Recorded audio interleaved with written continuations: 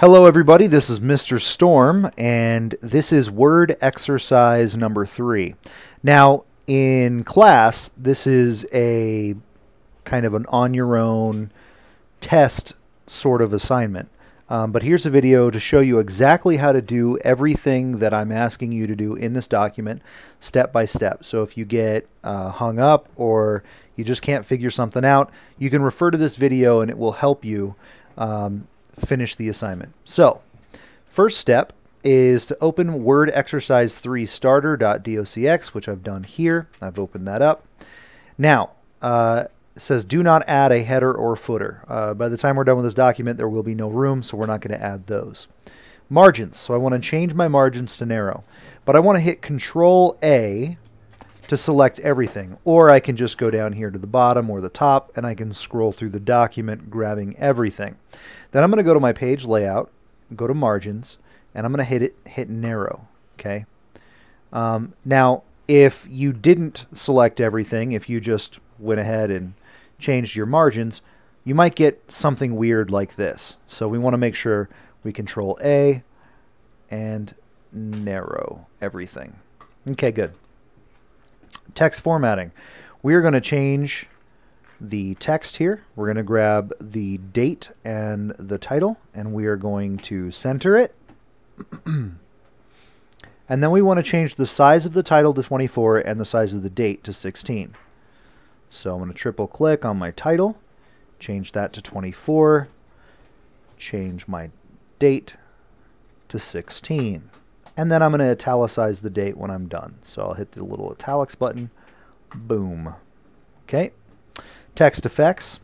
So the text effects up here, um, they're going to be in a different place on yours. Uh, I'm using an older version of Microsoft Word. Um, but it should be in, in relatively the same area, in the font area.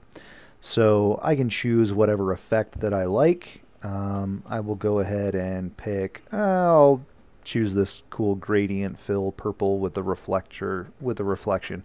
You can choose whatever one you want, whatever you think looks good.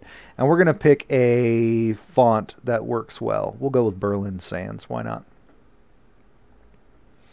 All right already on to number five, Format Painter. So I want to highlight my title, and I want to use the Format Painter on my title, and then apply that to birthdays.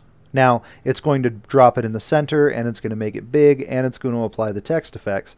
Um, but I don't want it to be big, and I don't want it to be centered. So I'm going to push it back to the left, and I am going to change it down to 14.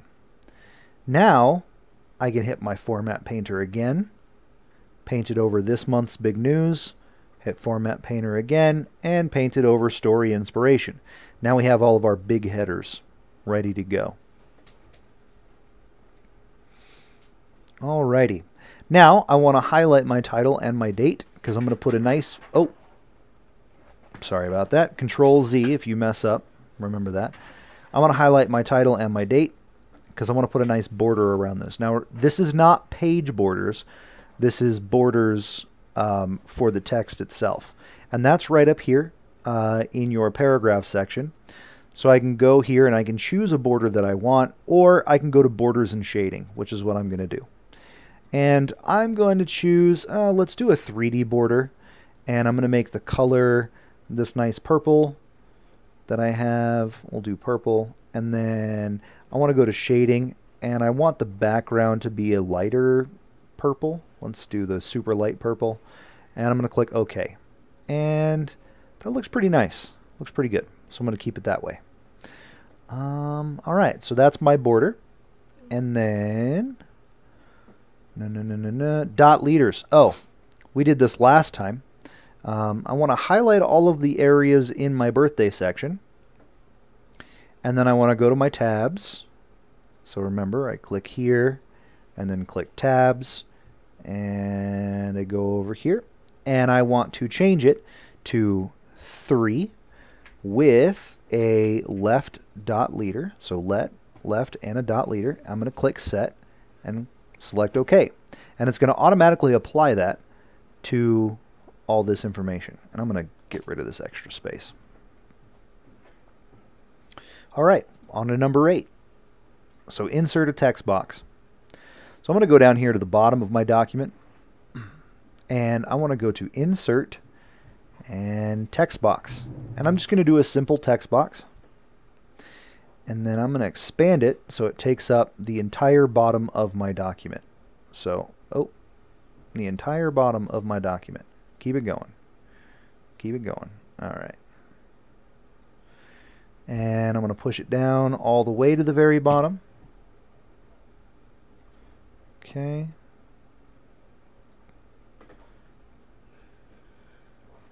And then I'm going to copy. I'm actually going to cut this, put it right in here, and I will just paste. Okay. All right. Cut and paste, and then resize the text box so it covers the bottom of the page. With the box highlighted, go to the drawing tools. I'm actually going to bring this down just a little bit further so it's at the bottom. I'm going to go to my drawing tools, which is up here in my contextual tab.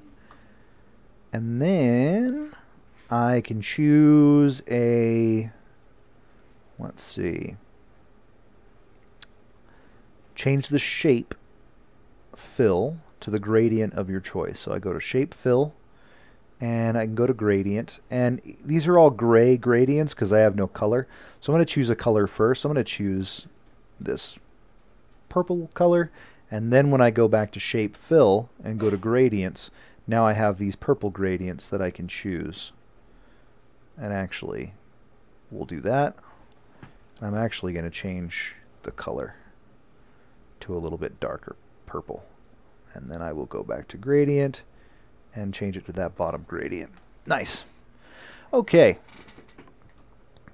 Now, I don't want my margins to be so um, close down here on the bottom.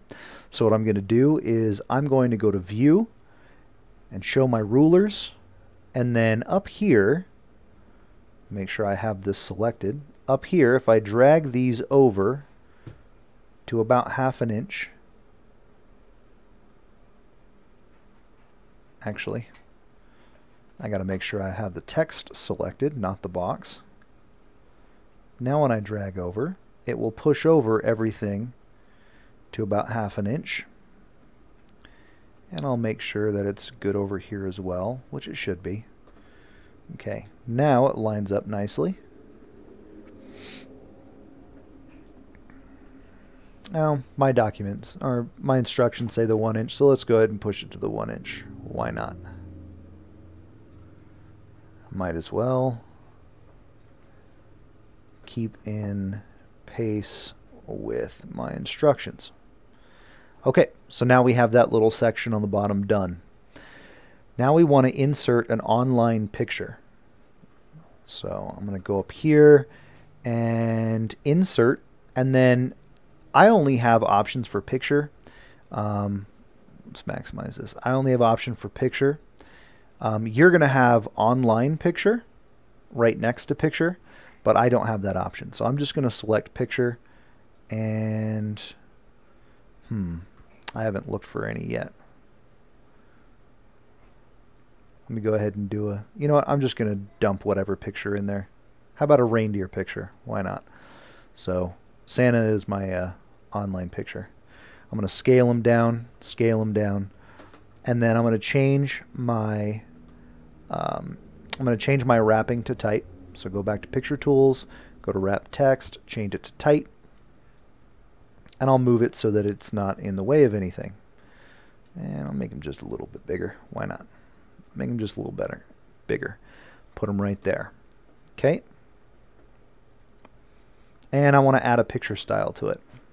So I'm going to go to my picture styles and I'll find one that looks good. And let's see. I like that. I like this. I like... Which one do I want? Do I want the sideways? I got to make sure it's not in the way of anything.